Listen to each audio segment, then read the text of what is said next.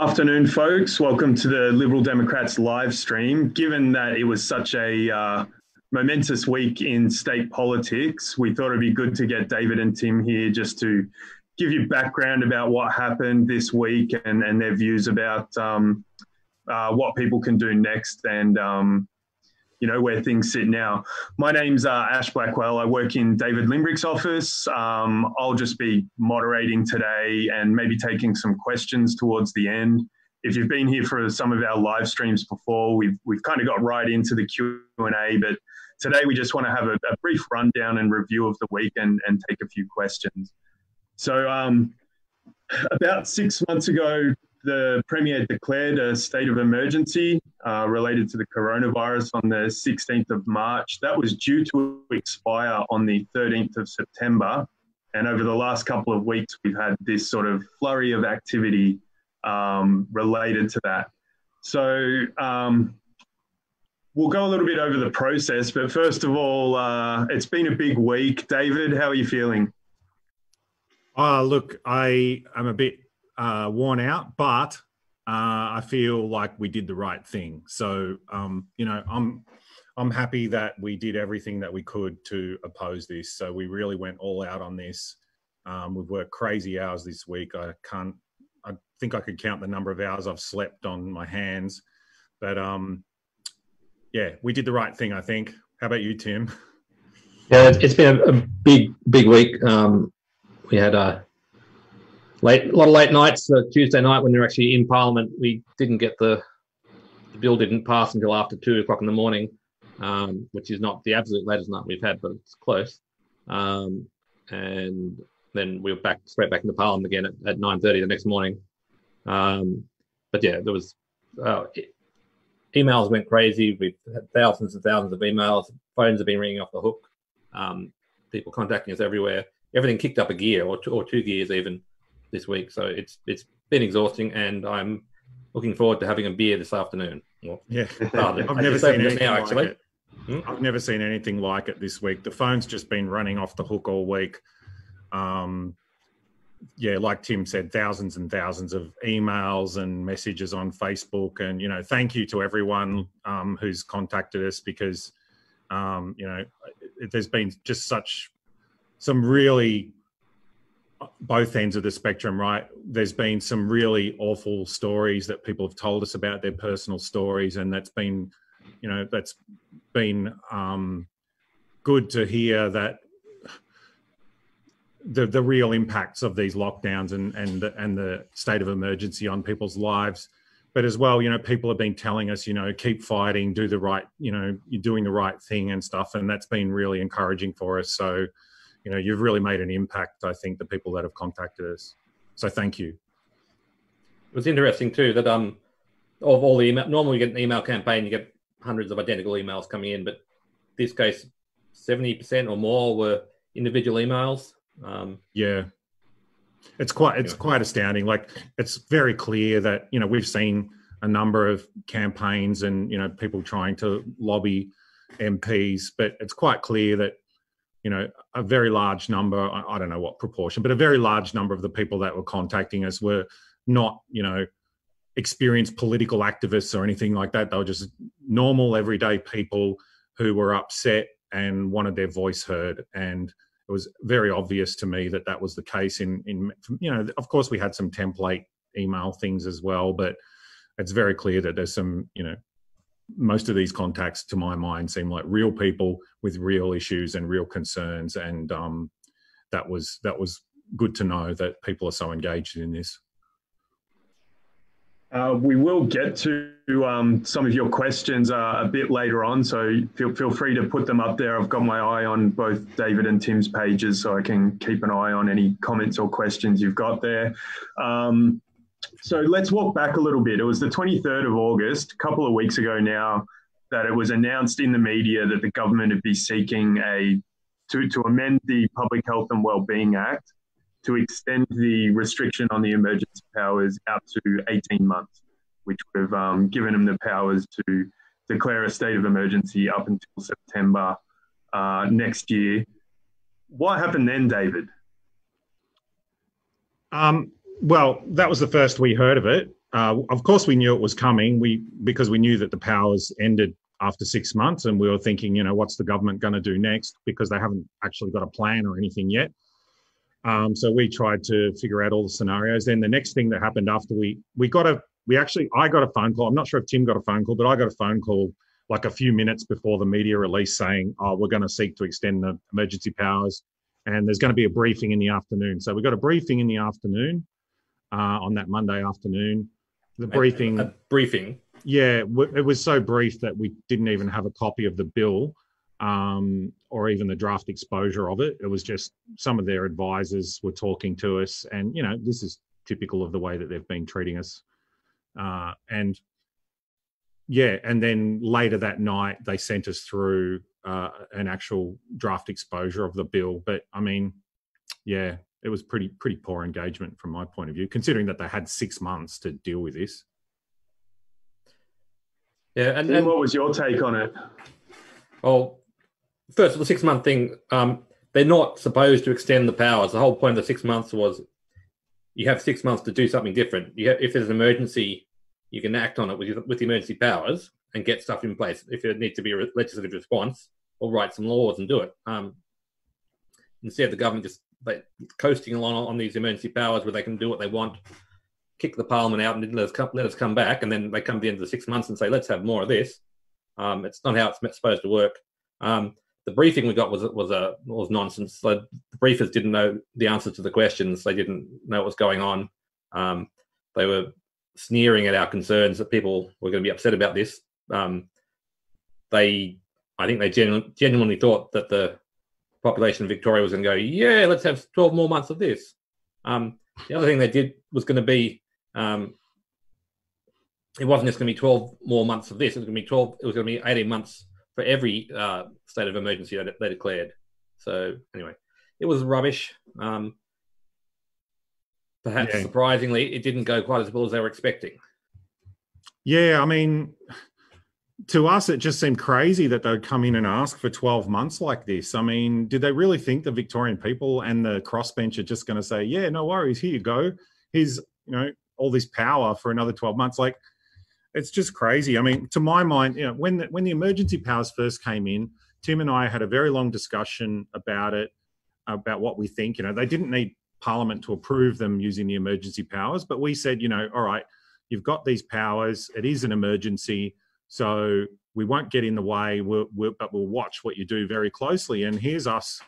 I feel stupid now thinking that they were going to do it, but here's us thinking that all right, well, they're going to have to come up with these plans during the six months to deal with the pandemic that you know are compatible with a free society and you know we thought you know if they need specific uh, new regulations or legislation or something that they bring that in you know they did bring in an omnibus bill earlier to to do some things around courts and parliamentary committees and things like this but um they haven't really done anything like they've still got no plan we're going to see the plan you know next sunday and mm there's no no one really knows what the end game is. It's it's just been terrible, like the way that they've managed it. And then they come back and ask for another year, and like Tim and I were like, no way, like we're not going to support that. Hmm.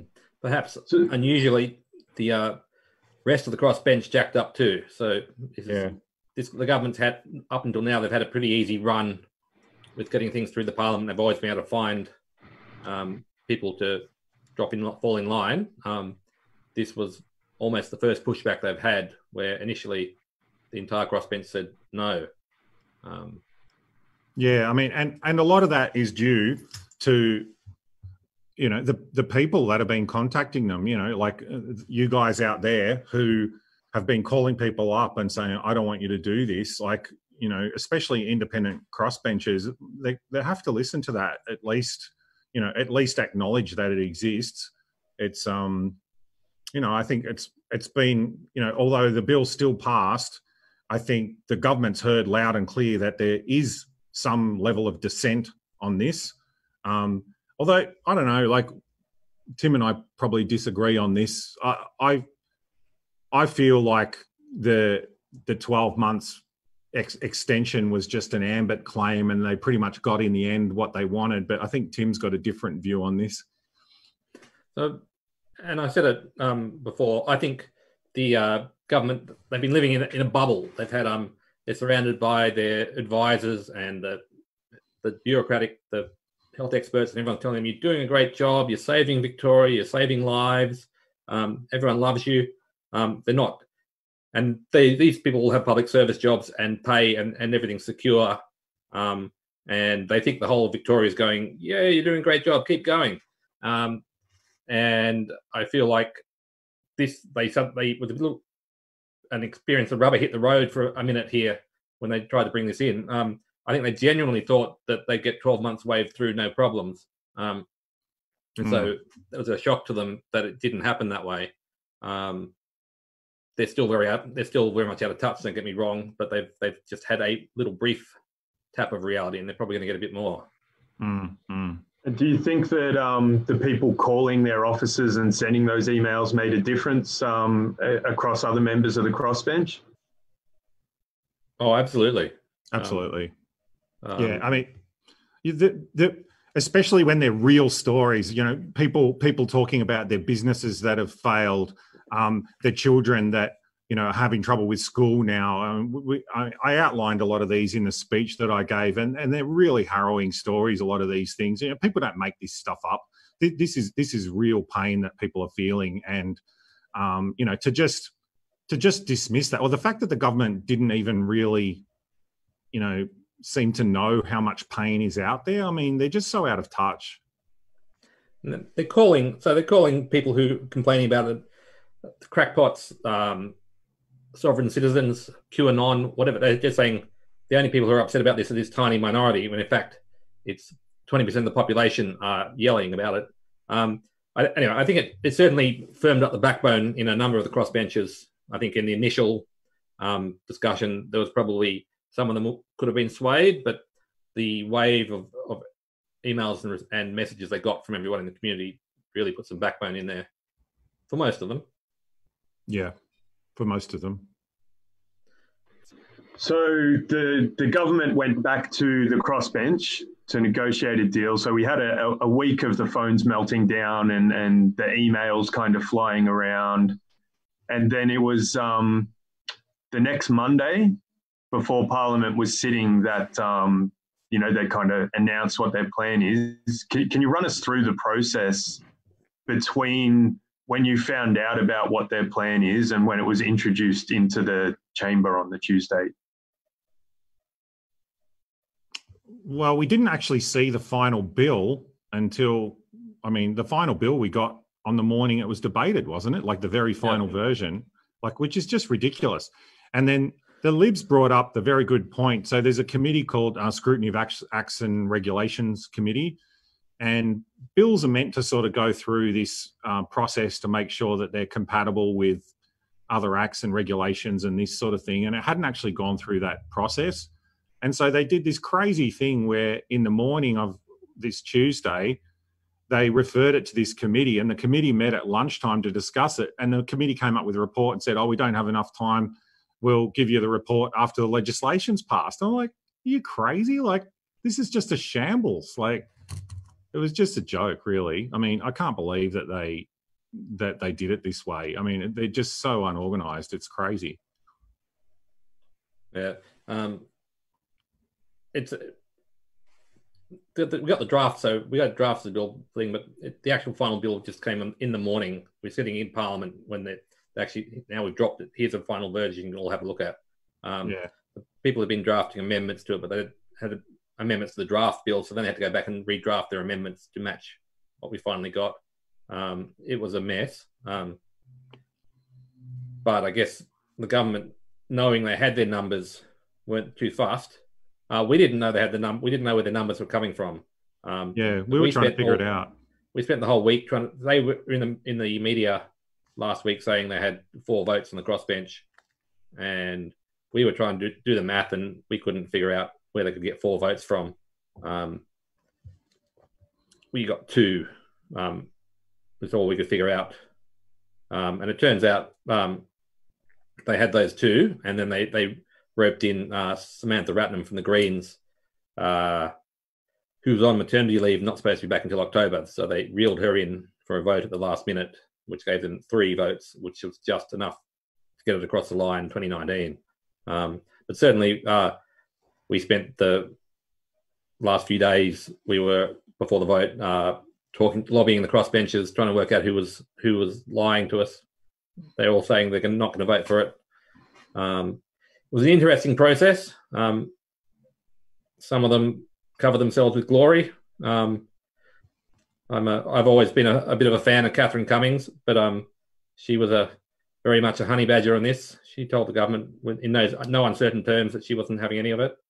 Um, uh, so, do you want to maybe uh, run us through the debate in the chamber? How, how, did the how did it go? Any sort of standout contributions from your colleagues? Um, your opinion of the the government's, uh, you know, um, contribution to debate, and um, then what happened with the the committee stage because it was a little bit unusual there as well. Um, yeah, so I mean, I was the first uh, crossbencher to speak on the bill in the morning. I just thought I'll I'll just go first, and so I came in and went first on that. And um, you know, I just what I did with the speech, you know, the speech only went for eight minutes, and it, and it got biggest reaction I've ever seen on any speech that I've ever done. I mean, crazy, crazy um, popularity. But um, you know, the the way that we put that together, you know, it's a short thing, but a lot of team effort goes into that. So the stories that I told, they were real stories from my staff who'd been on the phone, and you know, I'd been on the phone too, and putting together some of these stories and and putting together some ideas that I'd had and things that I'd put together in committee and that, and we sort of put that all together into a speech. And I thought it was really important to reflect back the pain that people were feeling, and I think that's what people um, maybe resonated with is is the pain and and also the the the the crazy nature of the government's response in in lots of ways, like these moral trade-offs, which is something that I've been um, very outspoken about and very concerned about. I don't think that they're really accounting for all the harms. You know, a lot of the other speech, the Libs um, put in some good efforts. I mean, maybe Tim can talk about Catherine Cummings' effort. I mean, she was she really stood up to the government. You know, she's an independent. I mean, what did you have to say about that? You're a big fan, Tim. Mm. Um, Catherine is a she's an interesting MP. Uh, she often says exactly what she's thinking, um, thoughts to the mouth happening. Um, a lot of the people in the in the parliament look down on her. Um, they think she's not not too bright or something because um, she's from the western suburbs or something. Anyway, um, I have a lot of respect for Catherine. She's had 22 years in local government before becoming an MP, um, stints as a mayor. She's actually pretty politically cluey. She can figure out what's going on in the parliament when no one else knows what's going on. She understands how how and why people are voting. She's just not polished, um, and she can talk and talk and talk and talk and talk. Um, but uh, I'm very impressed with her, and um, she stood up to the government the whole time with this. Um, I don't know who else had good speeches. Rod was a, bit emotional, but, but clear why he couldn't vote for it. Um, who else? Cliff. The Hinch Justice Cliff. guys voted against it. That was yeah. good. I mean, early on, Derryn Hinch said that he'd support the government, and clearly there must have been some uh, disagreement within their party about that because they later came out and changed their position. Um, maybe Derryn Hinch didn't get the memo of how how white hot people were with rage about this. So um, yeah, I mean that was great to see. Um, yeah, but I mean, the Greens were silent the whole time, so they didn't even give a speech on it. They probably did today in the lower house uh, or yesterday in the lower house, but um, there was nothing on Facebook, nothing at all. Um, no, there was nothing, zero. So you know, it. Yeah, I mean, I know that Animal Justice and uh, Reason Party, at least they stated publicly their position, which you know wasn't popular, but at least they had the honesty to do that. But the Greens just didn't say anything. They just were silent, totally silent about it, which is, um, you know, it's pretty pretty disappointing. Yeah. And what's the response been like? Um, well, actually, I don't know if we got into the committee stage yeah. yet. So, what what happened? maybe explain what the process is so that just for people who don't understand the, the normal process for passing legislation, um, a, a, little bit about how, how the formal process works and then what happened during the committee stage of debate. Yeah. Oh, did you want to go first, Tim? Oh, I'll, I'll let you do it. But um, we have they have a first reading, which is not a reading at all. They just say, "Here is the bill." Then they have the second reading debate, where um, the minister makes a, a speech, and then all the MPs get up and stand, say what they want to say, if they want to speak on it. Um, and then they have a vote on the second reading vote, where a bill can be killed at that point. Um, if it if it passes the second reading vote, it goes into committee, and that's when they examine the bill clause by clause. Um, they ask questions about the bill as a whole and, and about each individual part of it. It's also where um, amendments get put up if, if you're trying to amend an individual clause. Um, so it's, it's a way to interrogate the legislation and um, try to nail down what it's actually doing and what setting committee can be useful. It's when courts try to interpret the law, they, they look at what was said in the committee debate and um, that helps them decide what the law says. Yeah, and I I was um, very well prepared for committee. I had lots and lots and lots of questions. Um, you know, questions that I'd come up with from work that I'd done on the Public Accounts and Estimates Committee, but also questions that people had asked me um, that had come into my office, questions that my staff thought up, and you know, I had pages and pages of preparation. But the government didn't want debate to go on all night. Um, it still went till two in the morning, but uh, they did something quite outrageous that I've never seen before. They used a special uh, procedure in the standing orders um, where if at least six of the six members stand up, they can force a vote. So debate gets cut off and they force a vote. So they gave us a bit of a go. At, so the minister has to sit at the table, has to stand at the table um, during the committee stage, and everyone gets to go at have a go at asking questions. And they sort of gave us a bit of a go asking her questions. And then the government said, all right, you've had your fun. And then they just gagged us basically. And, you know, it was pretty outrageous when you see all the government just stand up and just stop uh, questions about the bill. I mean, it makes me wild just thinking about it. I mean, this is one of the most important bills in Victorian history, massive, massive public response to it. And there's lots of legitimate questions. I feel, I truly feel that I wasn't trying to filibuster or anything. I had legitimate questions about the bill that I wanted answered. And, you know, I tried my best in the time that I had. But I mean, it's just outrageous that they stopped it like this. So you've got the government putting in emergency powers, and people, they're saying, we're not dictators. You're all crazy conspiracy theorists to suggest that. But we're going to we're going to ram this through the parliament without proper debate, um, just to get it through. Um, and then what they do with the powers afterwards. Anyway. Yeah, uh, I mean, when I when I got cut off from questioning, I was only just getting started, and um, you know, uh, you know, they could have thought that it was like some filibuster attempt or whatever. But I mean, my questions were legitimate, and I stand by it. So, you know, if if they want to stop me asking questions in Parliament, well, you know, I'll ask them in public. there's a there's a fair bit there. Um, people wanting to know what they can do next and and things like that. And we will get to them in a minute. Um, just to kind of round off this review of the week. What's the feedback been like since the bill passed the upper house um, Wednesday morning? I think there's been a mix of um, depression. A lot of a lot of people very upset and angry about it. Um, we've had a lot of people thanking us for what we've done, but um, what we've done didn't work. Um, we fought it, um, and a lot of people wondering what the hell is going to happen next. Where do we go? Um, I think that's fair to say. Yeah, I mean, we've had um, the phone still hasn't stopped ringing. I mean, even just now it was ringing, um, and the emails and messages still haven't stopped. we've had, you know, a lot of people thanking us. Um, happy that we took a strong stand against this. Uh, and you know, I feel like we did the right thing, and you know, I'm re- very happy to hear such positive feedback in what we've done. Um, you know, I feel like we took a principled stand, and people uh, are recognizing that, and I'm very happy about that. That that they're happy with what we did. but you know, understandably, like Tim says, there's pe- people are upset that we lost. I think there were some people that um, you know, thought that there was a decent chance that we could beat it. I never thought that we could defeat the government on this, I do feel like there was some compromises made that wouldn't have maybe been made if we hadn't have fought hard.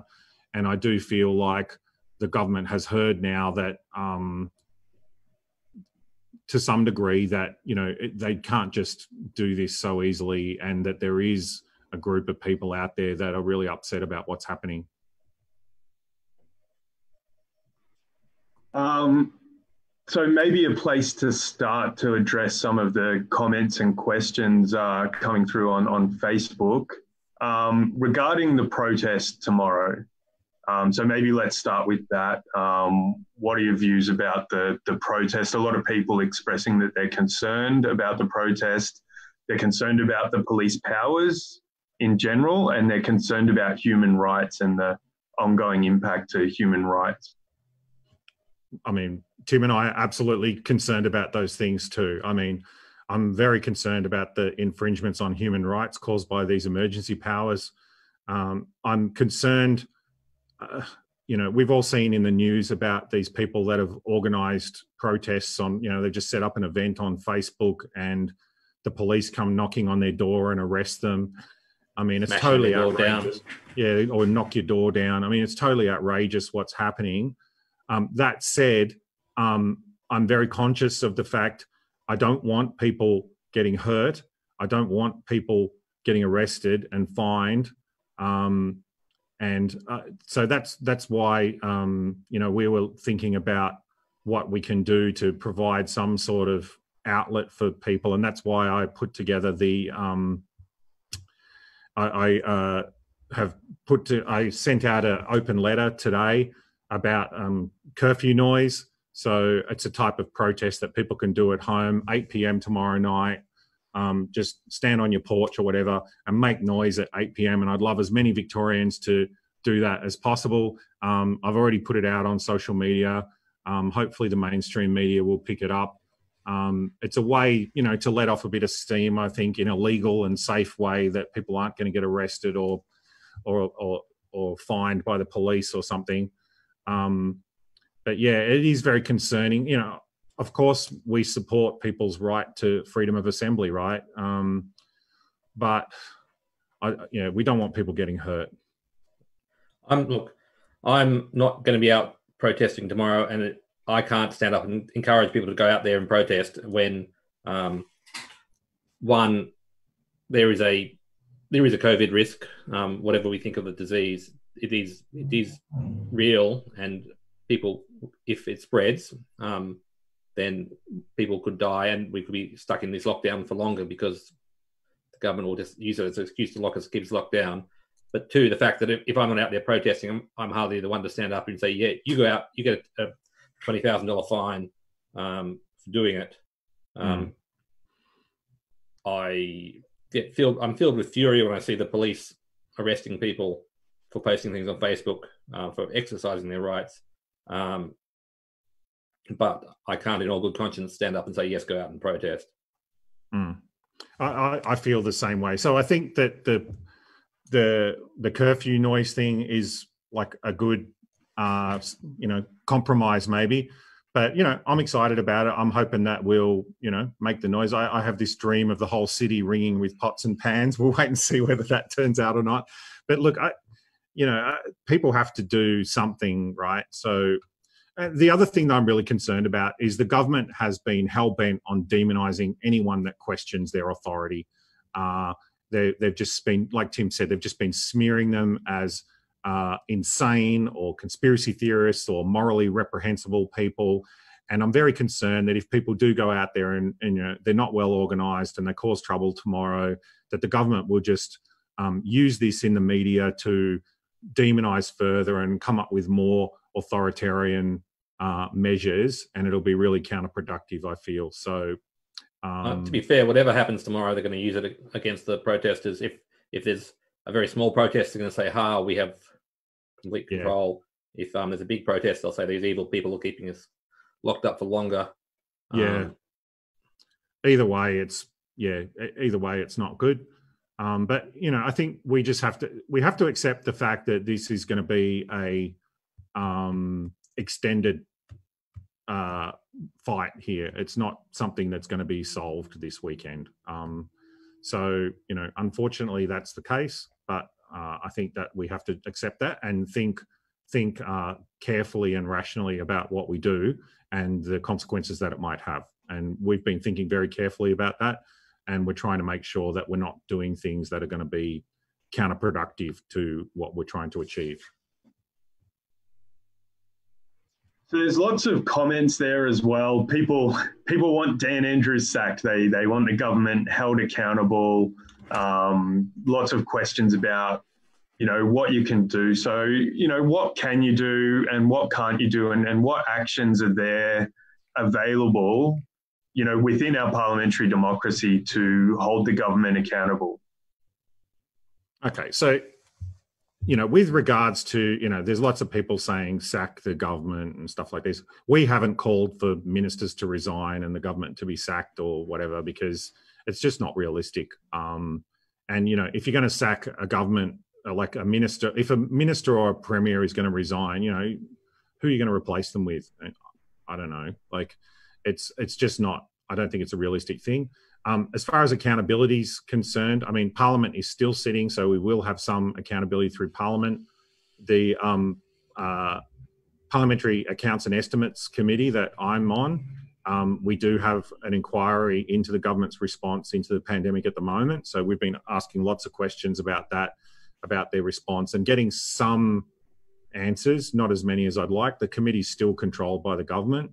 So you know that's not great, but um, we can still do that. Um, there are still some uh, things that we can do in in the form of you know protest, like like the you know making noise at curfew and things like this.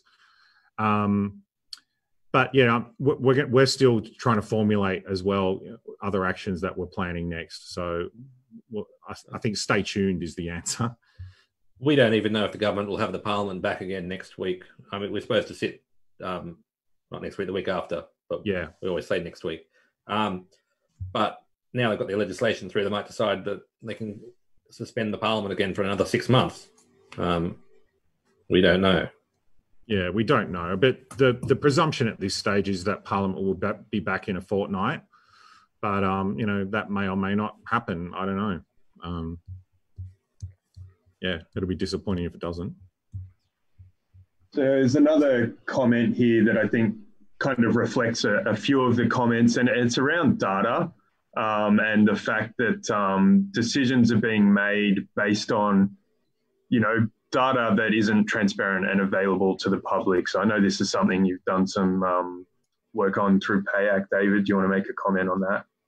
Yeah. So one one good compromise that um, this bill did end up getting is that the advice uh, that the that the health minister is receiving is going to be published. So that's a good thing.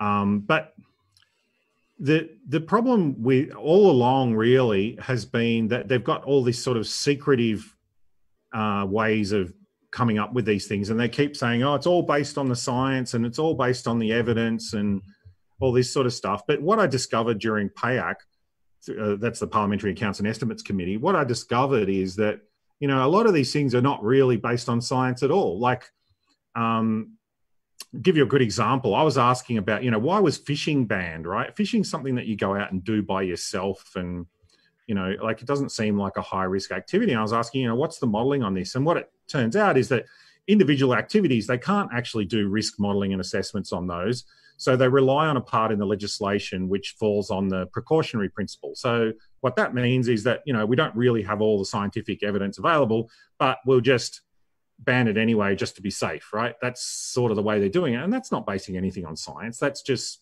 that's just saying, well, we're being very conservative about this, so we're going to institute these very restrictive rules. And there's been lots and lots of um, directions that they've come up with that I suspect are done exactly that way. And the other thing with the data is that they've really got this one-dimensional focus on everything. You know, they're looking at the, the at the at the community transmissions and the and the infection rates and the and the deaths from the disease. But what they're not monitoring, as far as I can tell, and I don't see any evidence, despite massive amounts of questions from me and others, is modeling of the long term harms that they're causing. And this is just um, unacceptable to me. Like, how do they even justify what they're doing if they don't know the long term harms? And they've made these horrific uh, moral calculations on this. And the one that I've talked about the most is um, schools. So, what we've discovered is that schools were not shut down to save children because the schools the, and the government openly says this. This is not me making it up. Um, they've they've said this. Uh, there's a video with the education minister on my Facebook page that you can watch if you're interested. They said the reason that we shut down schools, that schools were always safe. They were safe uh, earlier. They're safe now for kids. There's no problem. The reason that they've shut them down is to uh, reduce overall community activity. Right now, think about what that means. That means that they've sacrificed the well-being of children for some unquantified goal and unquantified harms. I mean, and this is the thing I've brought up many times. Like, they they're sacrificing the well-being of an entire generation of children, and we haven't even had a debate about it. I mean, what sort of society does this? It's it's absolutely outrageous. I mean, there's no way we were going to support an extension to this sort of power. Anything uh, you want to comment on on that, Tim? Oh, it, it's it's David pretty much covered it all. Um, it's what they've done is not based on science. There's no, there's no evidence behind it. There's no modelling. Um, they've just done, oh yeah, this feels like it would be right. Um, or this is this is shock and awe. If we, if we hit them hard enough with this, it'll scare everyone enough to get the results we're after. Um, they're supposed to go for the minimum necessary uh, impact, but they've in every possible opportunity they've gone for the maximum. Whatever we can do that has the most impact on people's lives. Um, yeah, I mean, who believes? Who believes that they've taken the least restrictive measures to control this? Like, does anyone? Um, well, we saw that uh, in the committee on Tuesday night. Um, the minister's going, "Why? Why would I?" She is not even hasn't even been issued. They weren't. She's not even aware of that they were supposed to be doing that way. Um, she couldn't answer the question because because they hadn't even considered it. Um, mm. Honestly, it was. Uh, I mean, that, amazing. That, yeah, it, it was quite stunning, actually. That was one of the things that I asked her in committee stage is how do you, I asked the minister this, how do you have assurance that um, you know the measures being applied are the least restrictive and that they're you know and that they're proportionate? And there was no evidence of assurance at all. It was just like oh well you know because the chief health officer told me so. I mean they've just totally outsourced their morality. It's it's just wrong. Like i mean it seems like the minister's role at the moment is to do whatever the chief health officer says and then go and come out with these packages. They call them packages you know chunks of money to try and throw at the problems to try and clean up. But of course you know they're not going to fix these problems by throwing money at it. Mm. some uh, questions about um, do you guys think that parliament will be back sitting on something approximating a regular schedule now that um, we've kind of returned so the government can pass their legislation if I have to guess, I'd say yes. Um, but uh, I don't know for sure. Um, I've been guessing poorly so far about whether we're going to sit or not. I think I've got it wrong most of the time. I've been saying earlier on, I was saying we'll sit, we'll sit, and we never did. And then the last couple of sittings, I've been saying, oh, they'll postpone it, they'll postpone it, and they, they brought us back. Um, obviously, this one they had to sit because their time had run out. Um, so we will see. Um, I guess they'll start sitting again properly now that they've got all they have us all spaced out in the chamber. So um, previous the previous sittings they had us in the upper in the lower galleries as well, but now they've turned the upper galleries into part of the parliament as well. So everyone oh, we're up in the high country. They were saying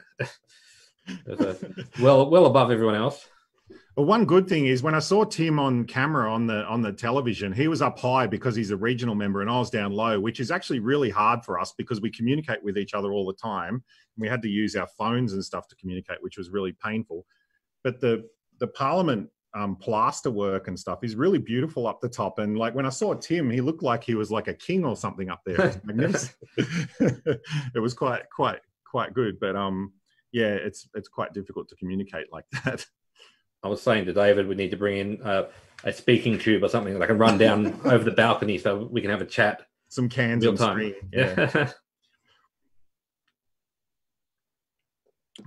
Oh, I almost forgot to unmute myself. Um, lots of comments there about um, these alternative treatment options that a lot of people have been reading about, um, and and one there that could maybe cover, you know, bit of bit of ground. Basically, are you guys pro-choice for vaccines? And if you've got any comments about these um, alternative treatments, hydro- hydroxychloroquine, ivermectin, vitamin D, these kinds of things. Yeah. So look, I'm not a doctor. I'm, I'm not. I have no medical expert, no training. Um, I I've read as interestedly as many people have of different things and people proposing ideas. Um, I am not in a position to say that we must do this, we should do that. Um, I think um, we should be trialing um, these drugs, and there are trials underway. Um, but I can't I, I, I don't have the knowledge to stand up and say this is what we must be doing. Um, and there's a lot of misinformation running around as well. Uh, the, we've taken the uh, two sides stuff fighting with the last 20 years. We've been fighting about climate change and whatever else. We've suddenly applied this to COVID 19. We have two passionate sides making up misinformation, feeding it out to argue for positions, which there's no science involved in any of that. Um, so I can't tell you what drugs will work. I need to rely on doctors to tell that. The government is conducting trials. There things are happening in, into ivermectin and whatever else. Um, so yeah, with vaccines, um, I am pro-choice. I think so. I'm I'm a big fan of vaccines. Um, I, I like to make that point at the very start when I talk about vaccines. I think they work. I love vaccines. I will get a vaccine as soon as a vaccine becomes available. I will get one because um, I feel like I'm in a slightly higher risk category for COVID than people on average. Um, but it should not be compulsory. I don't believe in compulsory medication of people. Um, so if you don't want to take it and um, you want to take your risks, well, that's up to you. Yeah, and I agree totally with Tim on this. I mean, you know, um, Tim and I are both very interested in science. I mean, I actually have a background in science, not not medicine, uh, actually physics, but um, I'm probably one of the few people in the in the parliament that actually has any background in science. But um, you know, like I think there's there, there's definitely has been a lot of misinformation out there. Um, what we've been upset with the government about, and especially from my office, because we've been asking about, you know, we get asked questions by the public about different drugs and trials and things like that, and we don't know the answers and we don't want to guess and just you know give them a link to a website or something. So we've asked the government and you know we've sent through questions to the health minister's office and they haven't replied and we were happy to you know if there is trials you know because i heard that, that, there is trials on ivermectin and some of these drugs in victoria um, i don't know the details of it and that's what we we're asking for you know what sort of information can we pass on to the public about this what the government's actually doing we're happy to pass on that information if the government provides it but they haven't provided it so you know, it's just this really poor communication on this sort of thing. So yeah, it's it's it's not great. And you know, lots of people think you know they read on a website somewhere that there's some you know magical cure or something, and then they think that the government's hiding it from them and you know it's it's really shambolic the way you know the government should be communicating you know here are all the things that we know about and here is the status the scientific status of that. And because they're not communicating that, there's this big information vacuum.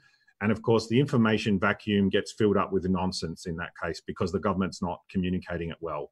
And that's exactly what's happened. You know, people just speculate about it. But, you know, there are trials of some of these drugs that are happening. So, you know, hopefully they'll turn out to be, um, you know, effective. But, you know, it doesn't know. I mean, you know, I've, I've dealt a bit with the pharmaceuticals industry before, and I know that, you know, you can't just just because you see in a small sample a drug has some effectiveness, that's not good enough for a doctor to go out and prescribe it. Uh, there has to be, you know, proper clinical random controlled trials and this sort of thing to prove safety and effectiveness. It does take time. I appreciate that. Um, so, you know, you can't just rush out and start prescribing something because it sounds like it might be a good idea. That's not the way that science or medicine works. Let's have a look. Um, so, one other question that I think might be an interesting one, just a real simple one. did the debate matter on Tuesday? You know, did it matter the debate? Yes, yes. Um, well, it mattered because people paid attention. People people watched it. You know, like people were. I've never seen people take pay so much attention to a, a, upper house parliament session. Like it was just people were tweeting about committee stage. I mean, that just never happened. Like live tweeting about committee and like commenting on MPs' questions to the minister and stuff. So, you know, people were paying attention. And I, I think one one really good thing that happened is because they were paying attention, they were watching what the government was doing, and they're saying, "What the hell are these guys doing?" Like, this is wrong. Like, and they hear the way that the ministers ask answer questions and stuff, and they're not happy about it. And I mean, that's good if they see that, see what's really going on. So, I think the result was preordained um, before we walked in, into the chamber on Tuesday morning. Um, the government had the numbers, and they were always going to get the bill passed. It wasn't going to change based on what people said there, but people put their opinions forward, and um, I think uh, one, the government got some got feedback that they haven't had before. Um, shocking as it was for them to think that they aren't. Not everyone thinks they're right 100%. Um, but also for the people who are watching Parliament for the first time, and I reckon a lot, quite a big chunk of people had never ever paid attention to politics, um, what was going on, how the Parliament worked, um, had become engaged in the issue and seen how it works, um, and know that they're not alone, that people um, share their views, and that wasn't a gov- government didn't get a walkover win. They they scraped it up by one vote. Um, so I think in in most ways it, it does count. It, it did matter. It, it was important.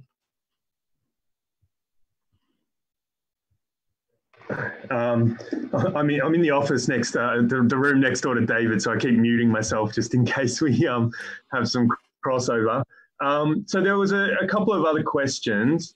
Um, one was um, Do you think that the Labor members are all as supportive of the Premier and the approach as, um, as it might look from the outside? Are, are they all 100% stand with Dan, do you think? I, I don't have insight into what's going on inside the Labor Party, or nor not a lot. Um, I, I, if you ask me to guess, I'd say no. I reckon there's probably quite a, a swell of um, discontent and uh, anger at how the government's managed things, uh, but it's not coming out in public, and it probably won't. Um, while the crisis is on, Dan Andrews will be firmly fixed in, his job. No one, no one else wants it now. While this is happening, um, I wouldn't be surprised if Dan resigns very soon after they declare victory on the on COVID. But when will that be? Uh, he's probably looking forward to the day he leaves, actually. Um, but yeah, I don't think Labor are firmly behind it at all, but the majority support it. And they, at this point, they're going, what else can we do?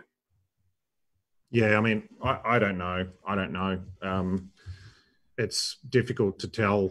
Uh, you know, clearly they're not going to talk about it publicly and they're not going to talk about it to us. So, you know, we can only speculate. I, yeah, I couldn't really comment. I, I, don't know. Like the only thing that I do know is that uh, not many of them spoke in support of it. Um, very small number.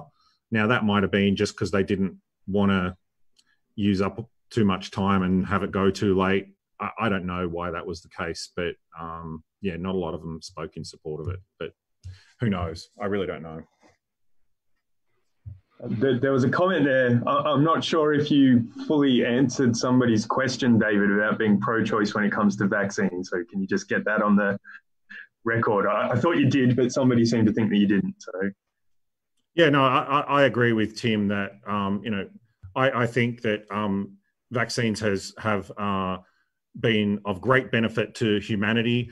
Um, I'm I'm a big supporter of scientific research into medicines, including vaccines but I don't support um, any sort of force uh, on on people. Now, for certain jobs, maybe there's some sort of requirements or whatever. For like for healthcare workers, we've discussed this before. Maybe they, uh, you know, as a job requirement or something. But you know, force forcible medical procedures uh, were dead against that. So yeah. Um, did you have any dialogue with the three crossbenchers that supported the government's legislation to um, extend the emergency powers? Not really. Um, so I, I, always expected uh, Andy Meddick to support the government. Um, he, as far as I can tell, he's he never votes against the government unless it's something to do with animals.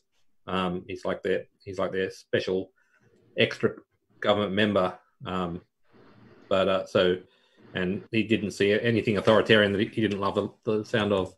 Um, Fiona uh, Patten of Reason Party claims to be a, a uh, civil libertarian. Um, I don't know exactly how she can justify to herself this, but but she did.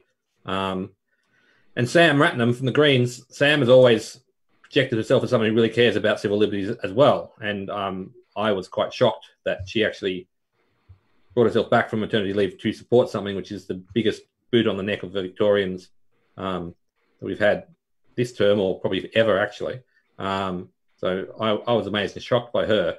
Um, mm. I haven't spoken with her. Um, I'm a bit disgusted with with uh, Fiona and Sam, to be honest. Um, we'll be I'll be cordial again, but I won't be as friendly as I have been in the past.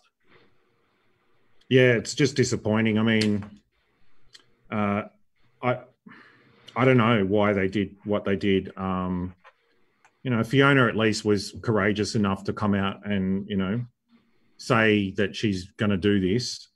Um, but the Greens, uh, I thought what they did was um, cowardly. Like they had no no stated position, and then just come in and swoop in and save the government. I mean, yeah, that was really disappointing. Um, mm.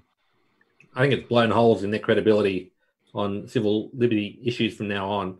Um, yeah, I mean, they were so outspoken about the housing tower lockdowns and stuff like this, and then they come out and give the government the power to do it again. I mean, that just doesn't jive with with what they were saying. So, I don't know. I don't get it.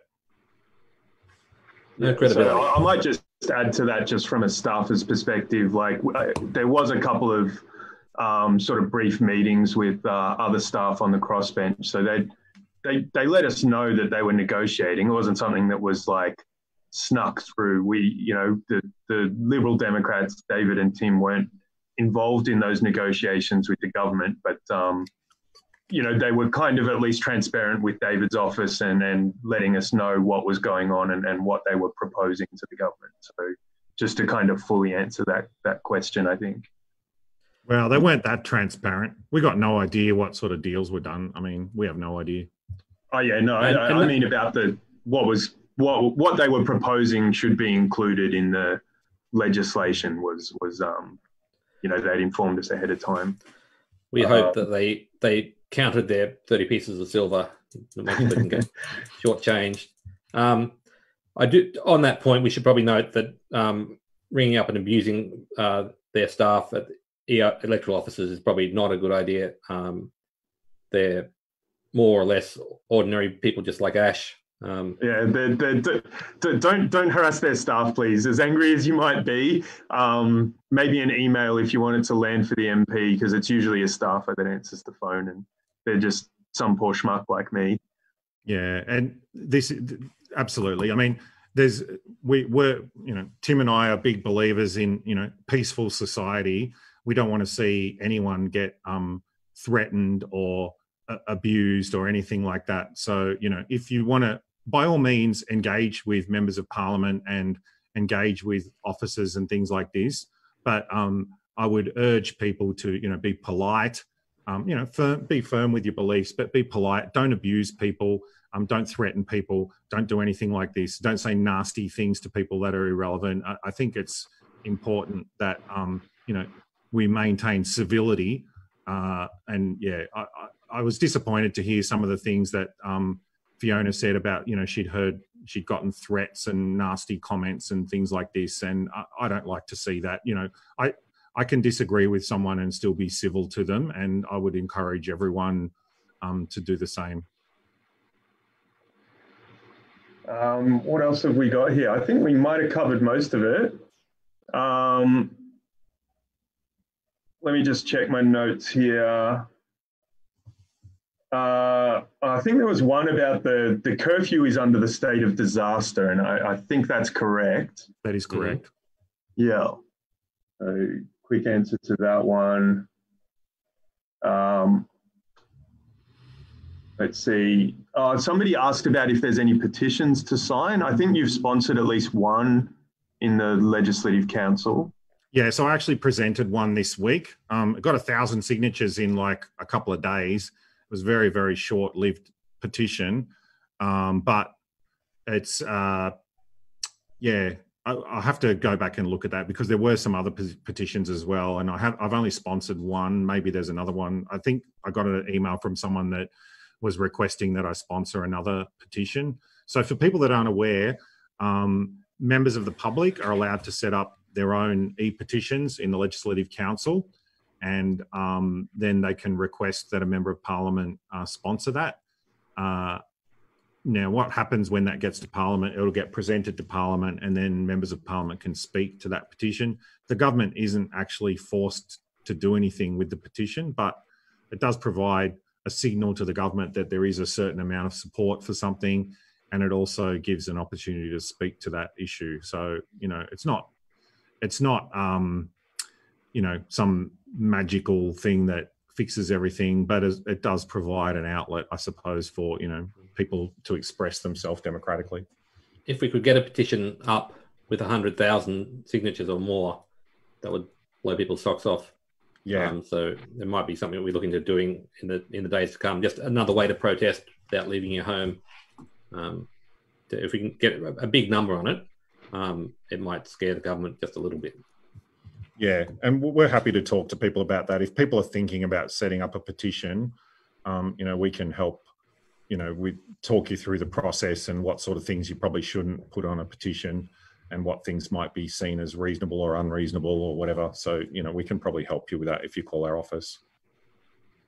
Yeah, and um, I'll, I'll, maybe just quickly handle this one. Um, in terms of like signing a petition, it, it, there's no way to guarantee an outcome. No. Um, before the next election, or getting enough members of parliament to support an action in the parliament now. So it's not like there's some magical threshold where you get 200,000 signatures and then they have to do something. But it's a way of signaling that um, you know, if there was 100,000 signatures on an e petition, that would be, I think, more than 10 times the, the current highest number. So it's just another way of signaling to the government the level of um, angst and opposition to their current approach. And you know these kinds of things, like I, it's hard to know, but they they they usually have an effect into playing into their decision making. Um, uh, how long can they extend the state of disaster for? Indefinitely. Yeah, they have to um, renew it, but uh, there's no limit on the state of disaster. The state of disaster is a different set of powers under a different minister. It actually goes through the police minister. So it's quite different to the emergency powers under the Health and Wellbeing Act. And I'd argue it's an abuse of power to even use that for this crisis. Yes they've got the state of emergency for this. They should never have gone to a state of disaster as well. Um, but yeah, there's some things that the state of emergency, some powers that the state of emergency doesn't give them. Um, so the curfew is under the state of disaster, and there's a few other things that have been happening under the state of disaster. Um, but we, we, ne- yeah. we never declared a state of disaster or a state of emergency before. No, now, no, we declared we declared a state of disaster at the start of the year. And now this year we've declared oh, right. it for the bushfires, Sorry. and one, once they open that can, they're now going back to it and back to it again. Um, so now they've they've they've opened Pandora's box, and they're going to keep every time there's something goes on, they'll say, "Oh, emergency powers, yay!" Um, I think it's a very very dangerous step, um, and we need to stuff it back in the box. Um, I was saying yesterday, I don't just uh, on Tuesday in the Parliament, I said I don't just don't support the extension. I want to remove these powers now. I think you've demonstrated the government cannot be trusted with this power. Um, it's not democratic. Uh, it's it's alien to um, our liberal democratic society, and um, I think the powers have to be taken away from them. Yeah, look, it's it's uh, it's very disturbing to see how these powers have been used, and you know our expectations of what the government would do with these powers and what they've actually done were just like we never imagined when they you know we we're always critical of government, right? We we believe in freedom, but um, we never imagined that they would go this far with the emergency powers and the disaster powers. It's just it's just crazy what they've been doing, and um, you know we won't be supporting any more extensions. Uh, you know, we didn't support this extension from the start, but it's uh, I don't know. Yeah, I agree with Tim. We have to put it back in its box. And look, one good thing about the one good concession that was made is that this extension is only related to the COVID nineteen pandemic. So the, their original proposal was to make these changes to the to the um, emergency powers permanent. That means that not only this time, but every future government is going to have these powers, which uh, is totally unacceptable. So at least that's not going to happen. But um, yeah, it's still not great. So there were there are a few questions. I might just kind of answer uh, something that might be helpful for people because I've spent a lot of time on the phone this week in David's office, um, kind of explaining the process to people um, you know, what the difference is between the um, emergency powers, the disaster powers, and, um, you know, some of those things. So it, I think it came up in the comments here in terms of what they've done in using the disaster powers, and this came through in, in some of the emails that, um, you know, some people thought that the the document hadn't been tabled in terms of um, the disaster declaration and how the powers have been used. Um, it, it, actually has. It might have been, you could argue it was tabled a day late or something, but it, it, was tabled. You can find those documents if you go on the Parliament's website, click on the Legislative Council link and the tabled documents database. And um, you can kind of read what what their justification they have to write their justification for using the powers and what powers they've exercised and it's all there in that report for, for some of the people that are kind of commenting and, and want to know a little bit more about it. Um, and and it's the um, Emergency Management Act that allows for the disaster declaration, where it's the whereas it's the um, Public Health and Wellbeing Act that's the enabling act for the emergency powers. But if you you know if you want to know more about this, you can call up David's office, myself or one of other David one of David's other staff. We can help explain this because I know for a lot of the people calling the office this week, it was the first time they'd paid this much attention to politics and, and the processes behind all of this. Um, so yeah, more than more than welcome to keep calling. Uh, I've nearly lost my voice of being on the phone so much this week. Um, I think we've probably covered the main ground. There's maybe two other things. So, um, one was the open letter from the doctors. A few people are asking about that, and a few people are asking about the the draft plan that was leaked the other day. So, if you have any thoughts about the doctor's letter and um, the draft plan and, and what you think will happen, you know, I guess uh, Sunday and and from that. Uh, look, um, uh, there's a number of doctors that are coming out and disagreeing, and and not just doctors, scientists, and economists, and all sorts of people that are coming out and uh, disagreeing with what the government's doing. They're showing opposition to it. Um, AMA has uh, you know been supporting the government, but clearly not. They don't represent all doctors um, because there's been a number of doctors that have come out in dissent. Um, so there's some lawyers as well that have come out with concerns about these powers and how they're being used. they they've got concerns about the proportionality of the responses that the government's taking. Um, very similar concerns to mine. So that's good to see that there is a growing uh, number of uh, professionals and experts who are um, expressing concerns. As for the plan, you know, there was that leaked plan. I don't know who leaked it or why they leaked it. Probably the government was kite flying to see what sort of reaction they get, and then they can, you know, condition people's response for the weekend. I don't know. Tim probably has his thoughts on that, I guess, but uh, it might have been. I think it might have been a real leak, but yeah, um, I, who knows? Um, yeah, they, they they want to tell us as little as possible. It's it's the we're we're in charge. Just trust, sit back and trust us, and do nothing. We don't trust you anymore. So, yeah, I mean, why is it taking this long to come up with a plan? And like, you know, why couldn't they show it to us before the legislation? Like, you know, we might have been more open minded if they said, look, we just need another three months to do this, and here's how we're going to get out of this, and here's the end, here's what the end game looks like. You know, we would have been maybe willing to listen and at least, um, but you know, there was none of that. So, yeah, nothing. All right. I think um, I, I, know there's more questions, but we did. Uh, I think uh, David, Tim, and myself are all quite exhausted. Um, uh, any final thoughts, Tim? Um, I don't know. We, are going to get through this um, sooner or later. Uh, the more pressure we can apply on the government, the better. Um, so some form of protest that isn't going to get um, everyone arrested or or um, get people hurt would be nice um, to keep applying the pressure on them. Um, I really hope we don't slip into violence um, tomorrow or in the coming days. Um, the government could really work hard on toning things down instead of trying to amp up the the aggro. but so everyone stay calm, stay collected, stay focused. Um, let's continue to protest safely, and um, someday this will end.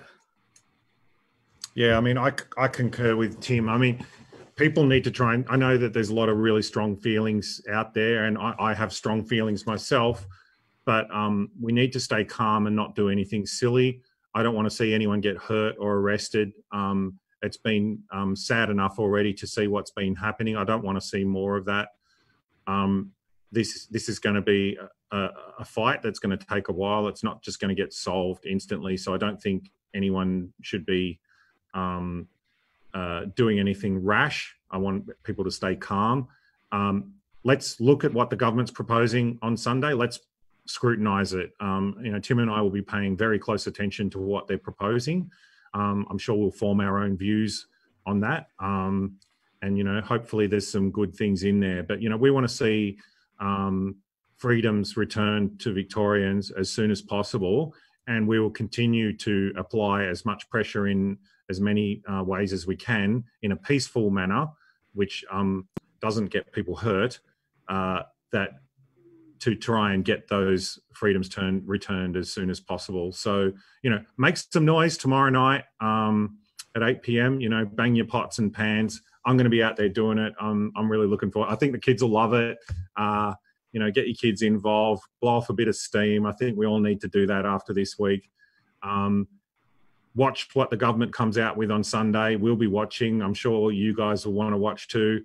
And um, let's listen to what they have to say and um, you know maybe they might have listened a bit and seen the reaction and think wow maybe we need to work harder to return some of these freedoms. I know that's a very optimistic view. I always try and be optimistic but we'll wait and see what they come up with. All right. Thanks guys. I think we'll leave it there. Sorry if we didn't get to uh, any of your questions but um, thanks for coming and uh, all of your comments questions and uh, all of your calls and emails as well this week. Um, you know, I can sort of speak on behalf of David's team. We were really moved by um, a lot of your stories. They do matter. Um, you know, what you're going through matters. It's real. Um, and, uh, you know, we'll be back with more soon. Uh, so thanks to our two Liberal Democrats members, David Limbrick, member for Southeast Metro Region, and Tim Quilty, the member for Northern Victoria. Thanks, everyone.